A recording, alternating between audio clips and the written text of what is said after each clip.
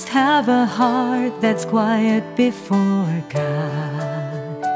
And you must have a sincere heart, a sincere heart.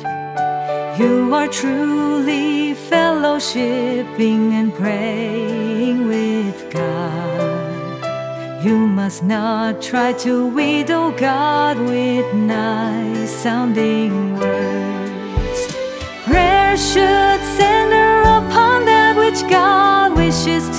Achieve now. Ask God to enlighten and illuminate you more. Bring your actual states and your troubles before Him when you pray, including the resolution you made before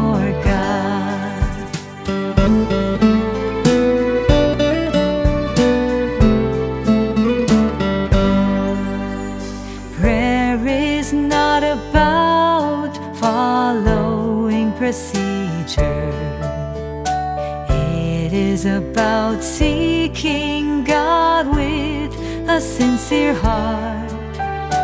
Ask that God protect your heart, protect your heart, so that your heart may often be quiet before Him.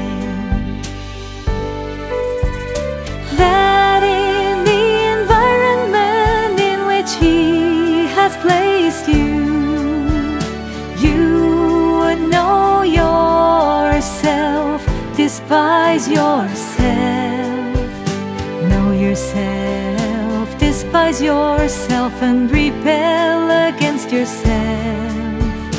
This allowing you to have a normal relationship with God and truly become someone who love's God.